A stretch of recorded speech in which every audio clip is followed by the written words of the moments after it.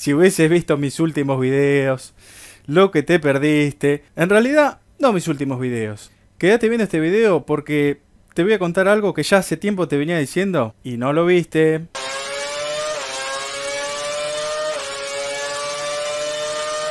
¿Qué tal amigos? Bienvenidos nuevamente a este gran canal de Lucas Redut. En el día de hoy sí, vamos a hablar de este, esta famosa bomba que sucedió en el TC y no me quise precipitar haciendo el video antes ni nada, teniendo en cuenta de que la CTC es incierta hasta para cuando sucede este tipo de cosas. ¿De qué estamos hablando? De la famosa bomba de Toyota al TC. Yo les voy a decir en este video lo que me parece a mí personalmente y también les voy a, no sé si adelantar porque esta información está igual en todos lados, pero sí les voy a decir este, más o menos cuál es el plan de Toyota y esto quizá por qué sucedió. Lo voy a tratar de hacer lo más corto posible el video para que no se coman 20 minutos como hay otros videos hablando de esto, de que no, que la especulación y que... No, la realidad es la siguiente. Toyota tiene una mirada del motorsports, lo cual me parece espectacular, digamos. Está muy bien que Toyota ponga dinero, ponga recursos y se meta en las categorías de automovilismo, porque es lo que en definitiva me gusta a mí y nos gusta a todos nosotros, que en este caso vos estás mirando este video, seguro que, seguramente que también te gusta. Bueno, Toyota tiene esa mirada en el mundo, ¿sí?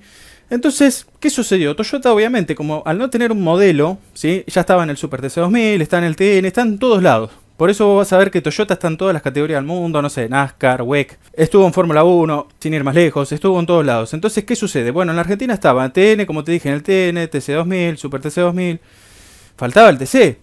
Entonces, ¿qué sucedió? Acá se unieron dos cosas. El TC, que viene en una debacle de hace años, lamentablemente, el TC viene, se viene cayendo a pedazo, pedazo, pedazo, de retazo de pedazo. O sea, se viene haciendo bolsa, literal. Los ratings del turismo de carretera, yo lo conté, por eso yo te dije que en, años anteriores, yo ya te estaba contando esta problemática del TC y que muy pocos vieron. Cosa que no importa, pero bueno, pocos lo han dicho. Eh, el TC, como ya les dije, se viene abajo, se cae como alambre caído. Entonces, ¿qué sucedió acá? acá? Acá sucedió lo siguiente, la conversión de dos cosas. De Toyota que se quiere unir de buena forma, de buena manera, yo lo veo bien, y de una CTC que está quebrada. De una CTC que, o de un TC que necesita cambios, necesita recambio, necesita un montón de cosas. Entonces, la categoría necesita dinero, necesita sustento. ¿Por qué? Porque como dijeron también en Carburando y lo vi, hay que mantener todo ese show, hay que mantener todo ese andamiaje, toda esa categoría. Entonces, ¿qué pasó acá? La CTC no se iba a oponer, no se iba a oponer, porque puede venir Aston Martin con todo el dinero, decir quiero correr en TC, y la CTC no tiene, no puede hacer nada, no, no puede hacer nada. ¿Por qué? Porque le faltan recursos, quizá, le falta dinero, o necesita más. Entonces, vieron a Toyota, Toyota les puso el dinero. Bueno, básicamente sucedió esto. ¿sí? No le demos vuelta al tema, ¿no? Que la especulación de Rossi, que se fue y ahora volvió. Ahora bien, ¿qué va a pasar? Hay dos cuestiones acá. O Toyota instala el Camry, el Toyota Camry, que es lo que quiere hacer, quiere darle una imagen también, obviamente, ellos quieren tener algo a cambio.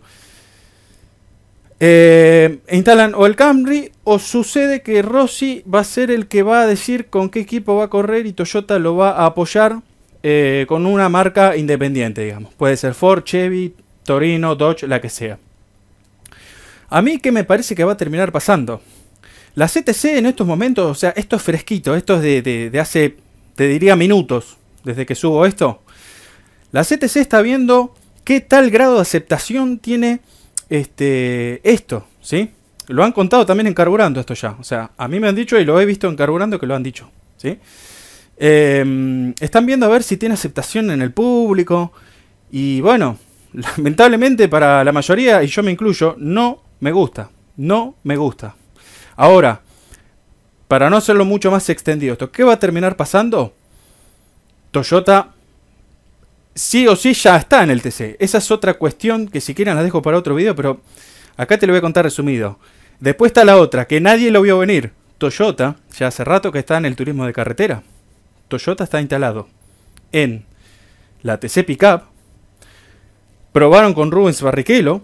¿No se dieron cuenta esas señales? ¿Acaso toda la gente que está mirando eh, los programas de televisión y los mismos programas de televisión no se dieron cuenta ese movimiento? ¿Me van a decir que no? Sí que lo sabían. Pero bueno, ahora resulta ser que es una bomba también.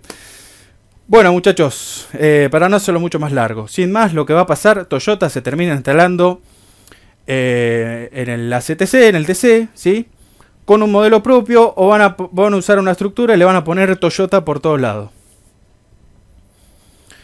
Sin ir más lejos, ¿qué necesita o qué haría yo? Yo tomaría la siguiente postura. Ya sabemos lo que va a pasar. Ahora yo, para terminar el video, te voy a decir qué haría yo. Bien, Viene una empresa, por ejemplo, me dice, yo tengo que poner eh, eh, una marca, quiero instalar una marca, una categoría, ok, eso es para el bien de la categoría también, o sea, basta también de ver con malos ojos de que se mete una, una marca y está mal. No, el TC tiene un problema, que el TC es muy tradicional y siempre lo fue. Y a mí me gustaba, hasta que me dejó de gustar por otras cuestiones. Pero bueno, no vamos al caso. Viene una marca, me dice, che, quiero poner mi marca acá. Ok, ¿cuánto es? Tanto. ¿Sí? Tanto dinero o tanto apoyo, o tanta logística, lo que vos quieras, ¿sí? Tanto beneficio de un lado como otro. Bien, pero vos entonces ahora lo que tenés que hacer es, ¿qué haría yo? Acepto la marca, pero cambio todos los otros modelos. De Ford, ¿qué usaría? Un Ford Mondeo o un Ford Mustang. De Chevy, ¿qué usaría? No sé, el Chevy mm, tope de gama de Argentina o un Camaro. Del Dodge, usaría un Challenger ¿Y qué usaría de Torino? Ahí está la gran pregunta. Bueno, eso quedaría si toma, digamos, lo que sería un derecho eh, Renault, que fue la última que tuvo la marca, etcétera. Se lo dejo a Renault. Renault tomará qué modelo actual debe usar el turismo de carretera. Los chasis deberían ser muy similares. Y eh, la carrocería actualizada. Los motores actualizados, por supuesto. Porque no podemos poner, por más que sean motores multiválvulas actuales, como dicen entre comillas algunos, escuchaste bien, entre comillas algunos, bueno, podés poner un motor, digamos, con un bloque igual del año 60. Acá tienen que ser todos motores V8, muchachos. Si Toyota quiere instalar el Camry, ok, vamos a hacer un prototipo del Camry, pero bien, al estilo NASCAR, digamos. Al estilo como de verdad debería ser. Ford va a tener que hacer lo mismo. Ahora hay otro problema subyacente a todo esto que yo estoy diciendo. Ninguna de las otras marcas apoya oficialmente a la categoría. Entonces, hay un problema aún mayor acá. ¿Que quién va a desarrollar las otras marcas si se actualiza el TC? ¿Te preguntaste eso vos? ¿Quién lo va a hacer? ¿Qué marca? ¿Ford va a agarrar la batuta, por ejemplo, con el Falcon y va, va, lo va a hacer con el Mustang? ¿Chevy con el Camaro? ¿Renault puede agarrar Torino? Yo realmente no creo que suceda eso.